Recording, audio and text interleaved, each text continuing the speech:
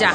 Les cuento que estoy feliz, estoy embarazada, tengo seis semanas, estoy disfrutando esta primera etapa de donde mi bebé está chiquitico que aún no lo siento, pero, pero con la esperanza de que pasen los meses, es primero saber qué es, porque eso me intriga mucho. ¿Qué quisieras que sea el bebé? ¿Niña o niño? En salud, lo que papá Dios me dé, porque yo no tengo hijos, es mi primer bebé, entonces eh, lo que sea que Dios me dé, pero como lo dé en salud.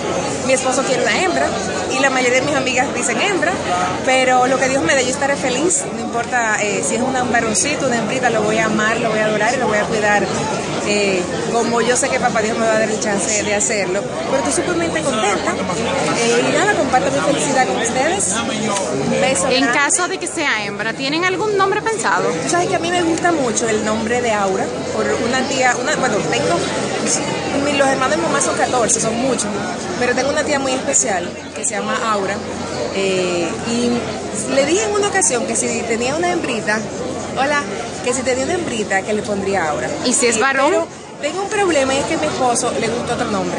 ¿Cuál? Sole. Y yo le dije, ¿cómo así?